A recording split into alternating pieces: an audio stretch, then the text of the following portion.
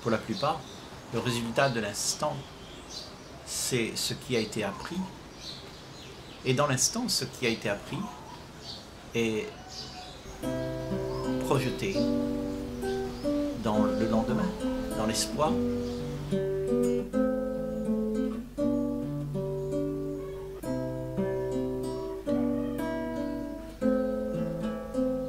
Quelque chose changer, qui va être mieux, qui va donner envie d'aller vers le lendemain. Cet espoir que l'on a tous le lendemain. On se donne un idéal à atteindre, quelque chose qui n'est pas là maintenant, mais qui sera. Et ça, ça nous donne beaucoup d'espoir dans la vie que nous avons aujourd'hui. Parce que autrement, ce n'est qu'une répétition de tous les jours, la même chose, la même chose. Et cet espoir change la donne pour la majorité d'entre nous. Et c'est comme ça que nos pensées, le mécanisme que nous avons, le mécanisme psychologique, je veux dire, fonctionne. Fonctionne dans l'espoir, dans un lendemain, qui va sortir des habitudes, des, des carcans des problèmes que nous avons aujourd'hui. Donc le lendemain devient très important parce qu'on est toujours en train de concocter un lendemain meilleur pour pouvoir sortir de ce marasme qui s'éternise, nos vies monotones qui s'éternisent. Donc, nos pensées nous y mènent, parce qu'elles sont faites pour ça, elles sont construites pour ça. La pensée, c'est ce que le passé propose. Donc, nous pensons, nous pensons, nous calculons, nous voulons arranger les choses. Et c'est là tout le problème de l'humanité. C'est que nous ne savons pas vivre. Nous savons seulement répéter la vie répéter ce que nous avons appris. Et nous nous sommes identifiés à cette répétition, ces habitudes, et nous les répétons même systématiquement, mécaniquement. Cela devient un réflexe. Tout ce que nous faisons, c'est des réflexes, des réactions contrôlées par ce que nous voulons, ce que nous désirons.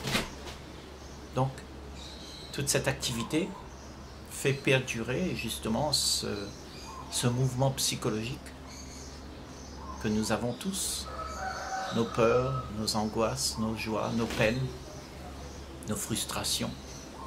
Tout ça, c'est le mouvement interne qui résulte de cette activité de courir après l'espoir.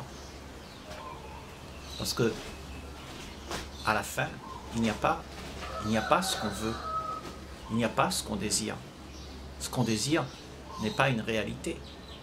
On ne trouve pas la réalité dans cette façon de faire. On ne trouve que l'illusion de ce que on a pensé. Et on poursuit cette illusion. Et on pense que c'est la seule chose qu'on a pour atteindre. Et effectivement, c'est la seule chose que tu connais ton passé. Ton passé te projette tout ce que tu aimerais voir revenir. Donc, si tu cherches quelque chose dans l'espoir, ça veut dire que tu connais déjà ce que tu cherches. Tu cherches ce que tu connais, qui t'a donné du bien-être. C'est ça que tu veux à nouveau. Les joies que tu as eues avant, tu te les remémores et après tu les convoites. Tu convoites cet euh, idéal que tu as projeté. Nous avons que l'idéal vie que nous connaissons et nous la poursuivons. C'est pour ça que il y a toutes sortes d'attitudes qui fait que nous sommes déçus parce qu'il y a quelque chose qui n'est pas vrai dans tout ça. On court après du vent. Je crois que si tu réalises ça, tu peux vraiment faire autre chose. Tu peux être alors dans la grâce de voir euh, tout le mensonge qui est là. Parce que tout ça, ce sont des mensonges qui nous expliquent comment euh, être vrai, ce qu'il y a de véridique, d'ultime. Et en fait, on se raconte des histoires. Et ces histoires, on les poursuit en fait. Ça devient nos croyances. Nos... Et puis, nous restons dans ces traditions, ces habitudes. Et ça réconforte. Ça réconforte de savoir que, en fait, demain viendra et je serai mieux, je serai sauvé. J'aurai quelque chose qui va me secourir de toute la misérable vie que j'ai. Donc on attend. Quelqu'un dans l'attente est désespéré. Désespéré pour un peu de joie, pour un peu de vérité, parce qu'il est dans l'attente. Et cette attente, justement, fait vivre ceux qui sont illusionnés par la convoitise qu'ils ont de ce qu'ils attendent. On est tout le temps en train de convoiter un état qui serait meilleur que celui que j'ai maintenant, puisque celui que j'ai est jugé par le monde entier. Le monde entier te dit qu'il ne faut pas être méchant, il ne faut pas être égoïste, il ne faut pas être ceci ou cela. Tout le monde dit comment tu dois faire, mais personne ne le fait. Tout le monde dit aimez-vous les uns les autres, mais en fait, il n'y a personne qui le fait vraiment. Donc tu te retrouves à, avoir peur du jugement qui viendrait de ce monde, qui te somme euh, de vivre ce que la norme exige.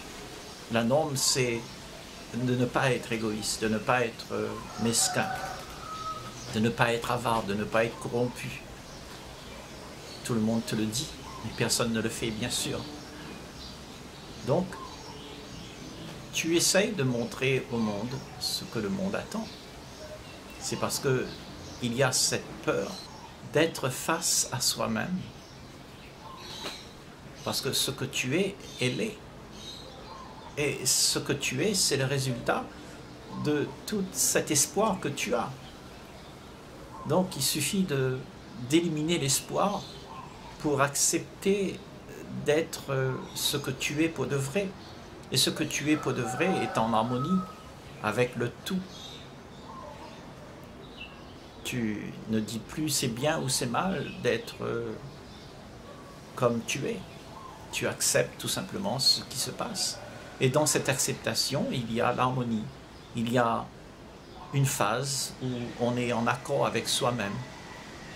On n'est pas en dualité avec euh, les idées que nous avons. Parce que L'idée d'être gentil ou de ne pas être gentil crée une divergence dans nos esprits. Donc on essaye de montrer seulement ce que le monde attend. Et ça fait qu'il y a beaucoup d'hypocrisie dans notre société, parce que tout le monde montre seulement ce que l'autre attend.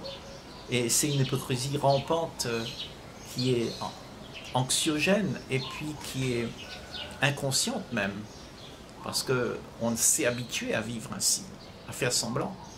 Et pour nous, c'est normal.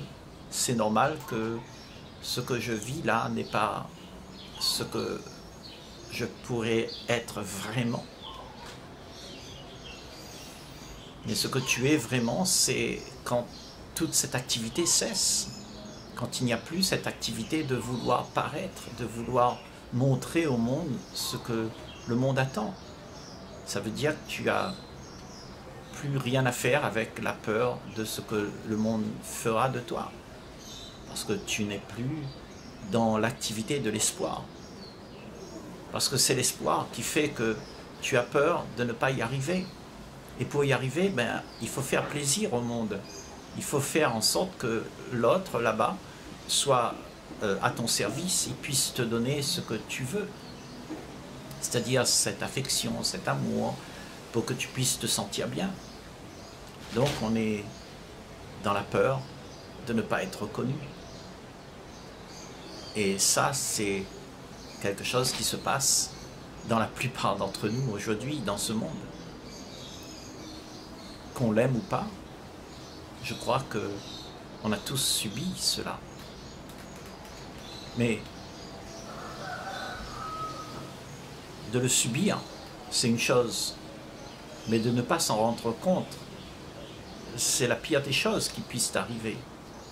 C'est-à-dire que tu continues ainsi en croyant que tout est normal, que tout va pour le mieux dans tes habitudes, tes trains-trains, ta petite vie, où tu répètes tout le temps les mêmes choses.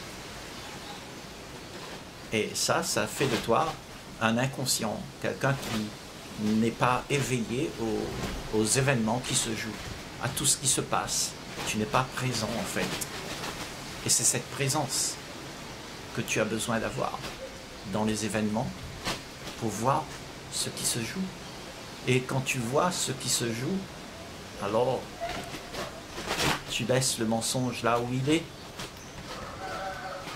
Et tu ne cherches plus à vouloir faire un monde idéal de ta vie. Tu es juste toi-même. Et ce soi-même, soi, est en harmonie avec le reste de ce que tu es. Il n'y a pas de bien, il n'y a pas de mal, il n'y a pas de haut, de bas. Il y a juste ce qui se passe. Et ce qui se passe est vu par la présence que tu es. Alors cette présence, c'est l'intelligence. Et cette intelligence met de l'ordre dans tout ce qui est incongru, ce haut, ce bas, ce bien, ce mal, est mis en ordre pour que tout se passe dans l'harmonie. Il y a un regard là qui, qui dépasse la différence, qui dépasse les choses qui ne sont pas euh, comme le monde l'entend. Un regard au-dessus de tout ça. Ça veut dire que ce que tu es n'est pas ce que le monde propose. Ce n'est pas ce que les pensées proposent. N'est pas ce que tu veux ou tu ne veux pas. Ce que tu es, c'est un regard sur tout ce qui se joue. Et alors, ce regard met de l'autre.